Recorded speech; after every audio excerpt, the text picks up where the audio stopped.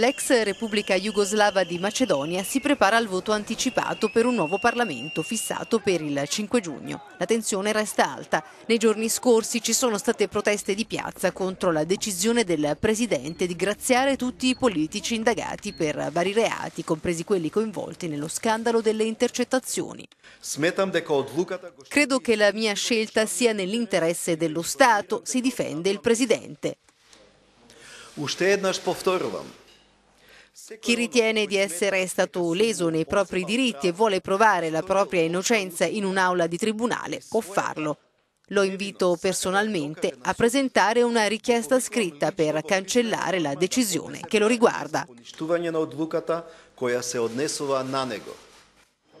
Le elezioni politiche dovrebbero porre fine alla lunga crisi politica istituzionale, scoppiata lo scorso anno dopo lo scandalo delle intercettazioni.